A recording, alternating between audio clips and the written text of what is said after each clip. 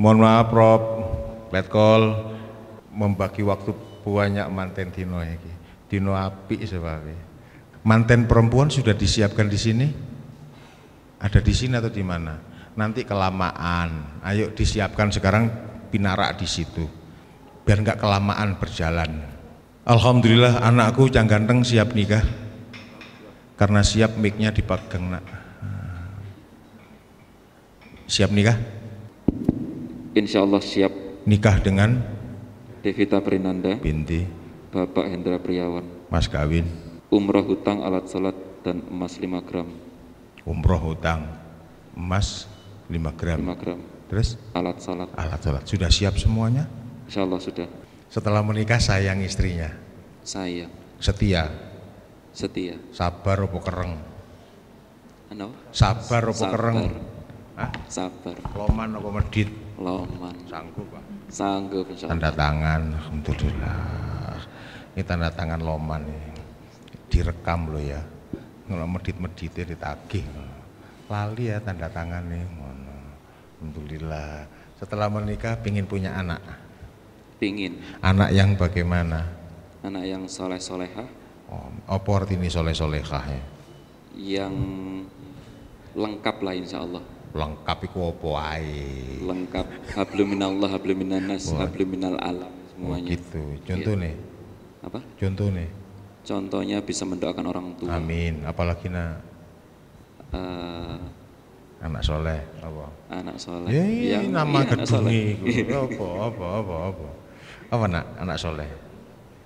Iya, anak soleh itu anak yang eh, intinya berbakti dan nurut sama orang tua. Terus, amin. Apalagi nak. Terus kemudian eh, sodakoh jariah. Wah, sugih ahli zakat. Iya. Muni ya, sugih ahli zakat. Suge ahli zakat. ahli zakat. Oh, gitu lah. Oke. Nomor dua, bersihkan rohani. Wa nunazzilu minal Qur'ani ma huwa shifa wa rahmatun lil mu'minin. Baca Quran. Waduh, no Quran ini barang. Rasulullah paham umatnya wegah baca Quran kalau sudah begitu. Walau bi ayatin satu ayat saja. Yasin cukup. Bojomu toha mari wis.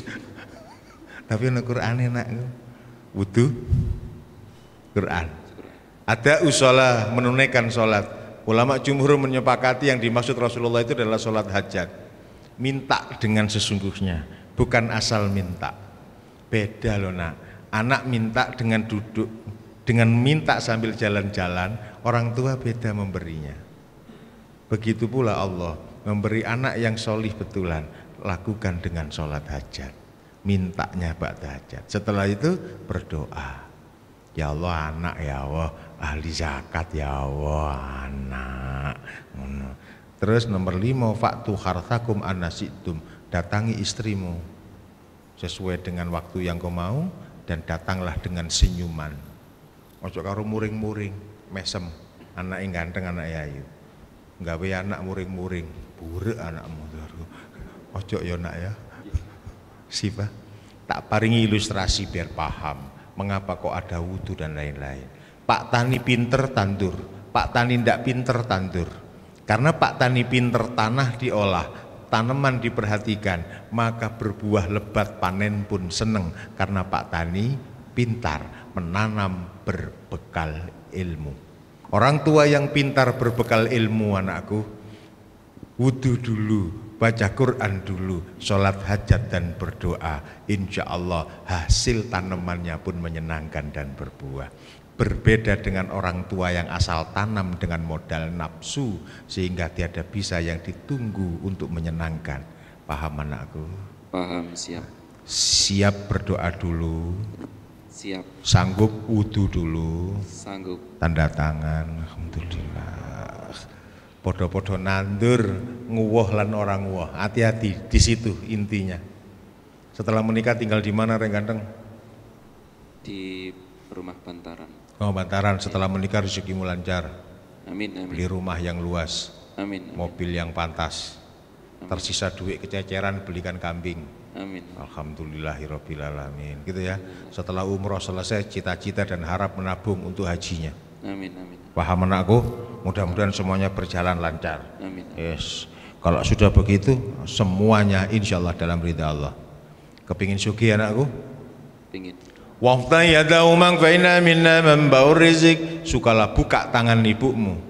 Karena di tangan ibumu membaur rizik ada sumber rezekimu. Semakin sering kau buka tangan ibu, semakin terbuka pintu rezekimu. Semakin banyak kau beri ibu, semakin banyak Allah berikan rezeki kepadamu. Oh. Kesimpulan, jangan bakhil kepada ibumu. Awas lu nak. Ibu manusia sayang di antara yang sayang mata kita belum bisa pandang, telinga kita belum bisa dengar, bibir kita belum bisa ucap. Ibu sudah mengajak bicara ketika kita di dalam perutnya. Pegang perut beliau, atas kita diajak bicara. Pinter ya nak, bejo mulia uripmu nak, sugih sampai anak. Ya Allah, manusia mana pun belum ada yang berdoa.